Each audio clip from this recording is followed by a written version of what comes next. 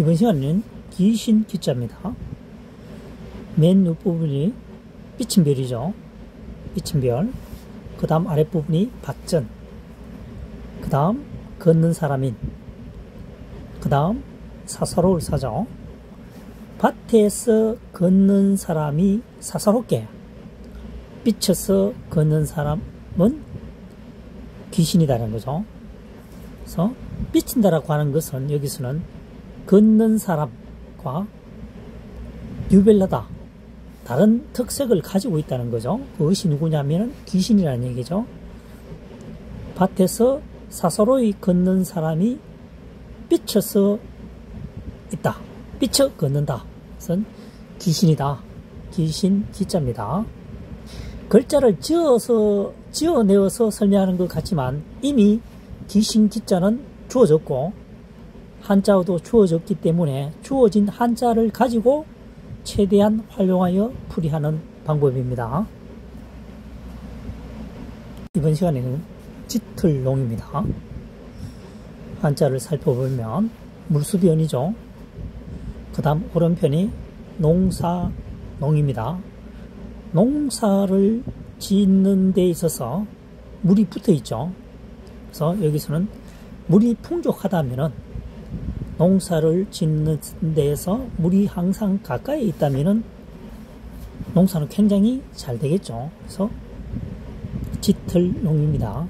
좋다는 뜻이죠. 많다는 뜻입니다. 농후하다. 물수변, 농사농, 농후. 농사를 짓는 데 있어서 물이 항상 옆에 있다면 그 농사는 굉장히 잘 된다. 그렇죠? 열매도 뭡니까? 단단하다. 짙어진다는 거죠.